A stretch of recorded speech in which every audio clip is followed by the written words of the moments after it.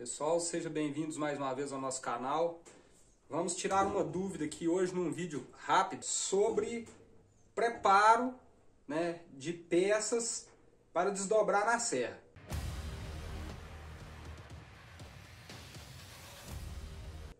Certo? É, a gente está fazendo aqui hoje algumas peças para fazer janela, né? Desdobrando. Eu, a gente já até gravou um vídeo anteriormente sobre isso, mas ainda ficou algumas, algumas dúvidas aí. O pessoal fez algumas perguntas e a gente vai gravar aqui e vai tirar essas dúvidas aqui. É, vamos tirar nos mínimos detalhes a dúvida sobre isso. Sobre como desdobrar uma peça dessa aqui, ó, fazer tábua dela, né? É, para qualquer fim, né? para janela, para porta, para qualquer outra é, demanda que tenha. É, para gente que mexe com madeira maciça, isso é bem comum. Então é o seguinte, pessoal. É, o primeiro passo, né, para a gente transformar isso aqui em tábua, numa serra de bancada, igual a gente tem aqui, é, o primeiro passo é aqui no desempenho. Né? Eu já até passei aqui, né? já até fiz umas duas passadas aqui, gente ainda vai fazer para acabar de tirar esse detalhe aqui, né, esse defeito. Então o primeiro passo é aqui no desempenho. A gente já gravou algumas coisinhas com essa máquina aqui também. Essa peça, pra gente ir lá na serra circular, né? Daqui a pouco a gente vai lá, vou mostrar em detalhes. Essa peça aqui, pra gente poder desdobrar ela, fazer tábua dela, no final a gente vai mostrar tá, as tábuas já feitas. Isso aqui precisa estar tá bem desempenado, né? nessa face aqui, bem desempenada e também bem desempenada aqui. Não basta estar bem desempenado, tem que estar no esquadro para você fazer um trabalho bacana, sem risco. Só ilustrando aqui, ó, essa peça tem que estar no esquadro aqui, né? E também do outro lado. Como que a gente consegue isso? Aqui na desempenadeira, beleza. Nem todo mundo vai ter desempenadeira, né? Mas se você tiver uma situação dessa, peça lá do, do seu fornecedor, lá da madeireira, para madeira já vinha desempenada, né? E já é, no esquadro, né? Na minha região, pelo menos, eles cobram a parte, mas eles fazem esse trabalho.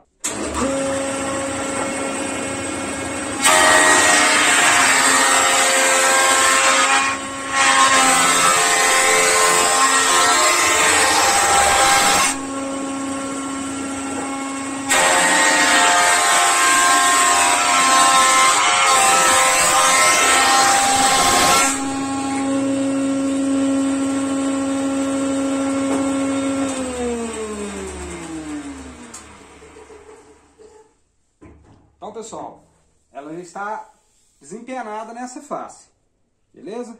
Então, eu preciso deixar ela também desempenada nessa face e também preciso deixar ela no esquadro, tranquilo? Só de um lado. Aí depois eu vou te explicar, mais no finalzinho do vídeo, eu vou explicar por que você necessita dessa máquina aqui. Basta essa face estar desempenada e essa face está desempenada. Do outro lado você vai fazer, vou mostrar depois lá na serra, beleza?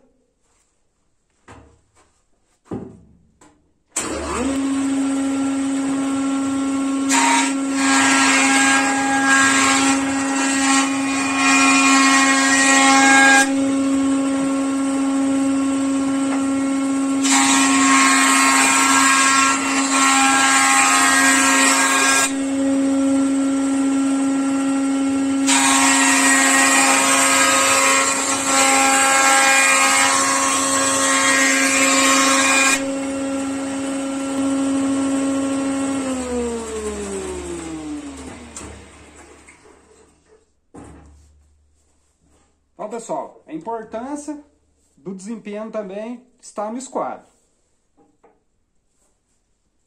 Vocês podem ver que a gente levou no desempenho, passou e a peça ficou no esquadro. A gente desempenou, né? Lá na nossa planinha, lá no desempenho, a gente desempenou essa face e desempenou essa face. Ah, mas por que não desempenar a outra face? Pelo seguinte, nós vamos trabalhar aqui com tábuas né, de 14 centímetros, 13 ou 14 centímetros. Então eu tenho aqui uma peça com quase 15. Se eu já desempenhei essa face, basta eu trazer na serra, né, regular com 14 ou 13 que eu for necessitar, né? No meu, nosso caso aqui vai ser 14. E basta a gente cortar aqui na serra para gabaritar essa peça. Sendo que a gente vai fazer janela e as peças têm que ser toda igual, nas duas pontas. Então, basta a gente desempenar somente de um lado e a gente vai trazer na serra e vai copiar essa face do esquadro para cá. Então a gente vai ter três lados esquadrejados. Beleza? Então eu vou fazer primeiro passo, cortar aqui, né? Gabaritar a peça na largura que eu preciso. Depois a gente vai passar, vai fatiar ela, né? Desdobrar, como tal modo que muita gente fala aí.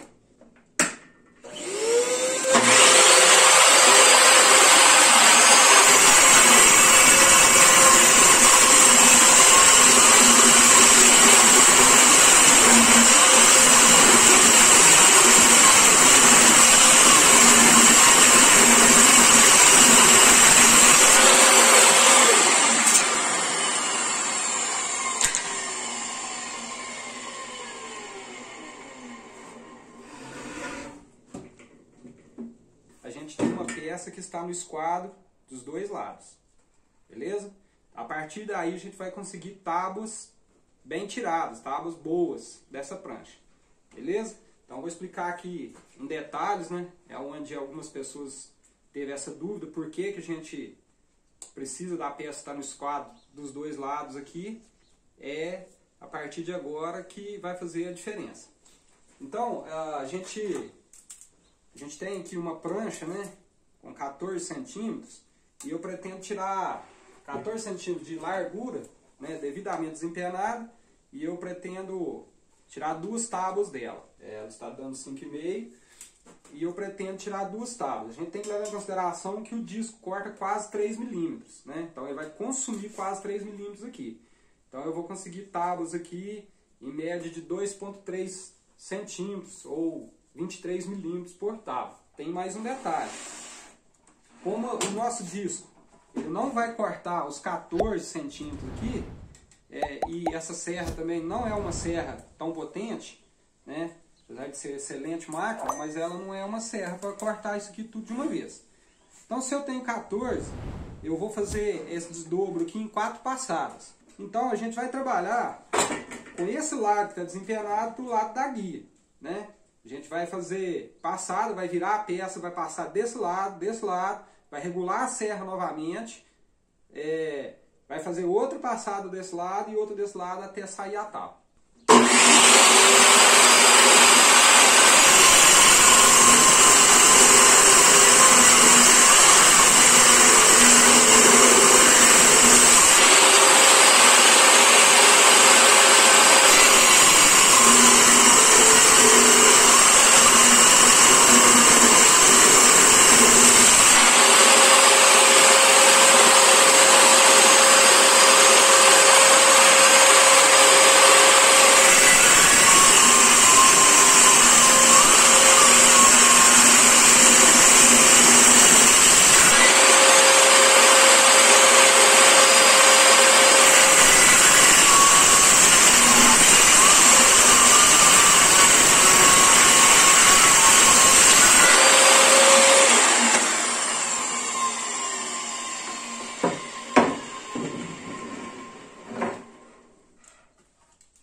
Então, tá aí, ó.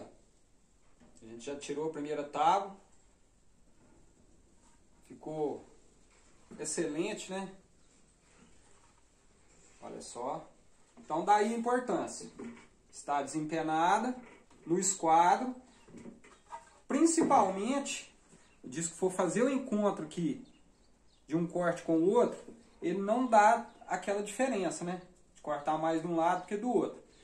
Se a peça estiver fora do esquadro, é quase 100% de chance de não obter esse resultado aqui. Olha só. Alinhada, né, sem nenhum problema aqui do encontro dos cortes. Você consegue tirar com perfeição a tábua. Então, se a peça não estiver no esquadro, esse corte não vai encontrar perfeitamente. É onde vai sair um corte mal feito, vai queimar o disco, vai podendo até estragar a máquina. Quem puder deixar o joinha para nós aí, compartilhar o vídeo aí com aquele amigo aí robista, né, que está começando, que precisa dessa dica. A gente vai agradecer. Qualquer dúvida, comentário aí, a gente vai responder na medida do possível.